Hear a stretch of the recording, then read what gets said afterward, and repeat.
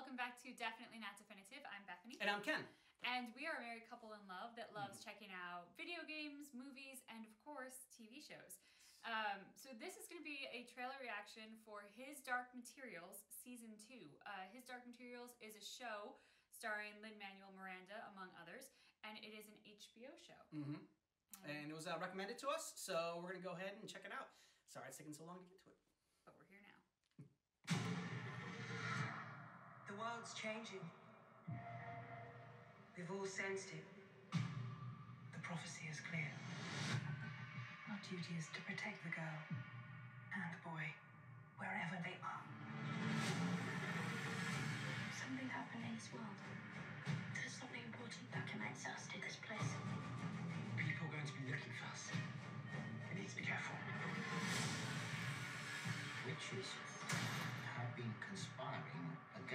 Magisterium. We must take control of this new world. Find the child. She's in another world entirely. You're a long way from home, Mr. Scoresby. I've heard about your powers. And I'm looking for a girl named Lyra. You will need a knife. One that could slice Leave the winds to me.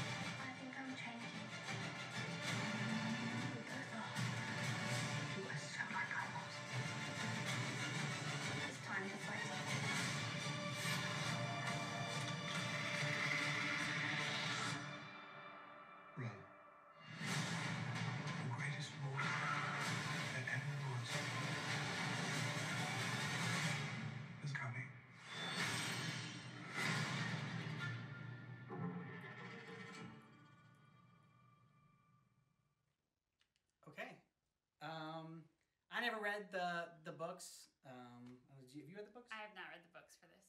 Uh, and we actually haven't even seen season one yet, so we're checking out season two. Let's get someone. Someone had asked us to check out season two. I, I don't know if we, I think it's really been spoiled for us. I, don't, I mean, you know, I mean, not, I mean, not seen it. Um, yeah. So The only thing I will say, again, coming at this from being completely in the dark, I don't know if this is part of it, but um, Lyra, I think is the, the main girl's name. She looks incredibly like the magistrate woman, the lady in red. Um, Hmm. So I don't know if that's intentional. I don't know if that's actually part of the story that they're related. But I was just sitting here as an audience member going, she's like the mini me version of her. yeah, and, and Abu is, is in there from from from Aladdin. so he makes, makes an appearance as well.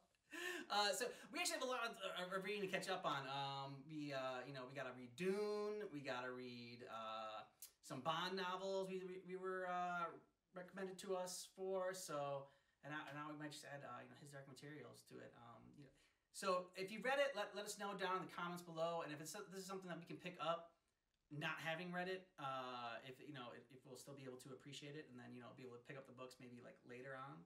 Yeah, I will say from from the trailers that I've seen of this, it does look kind of like a show that you probably should read the books first. Yeah.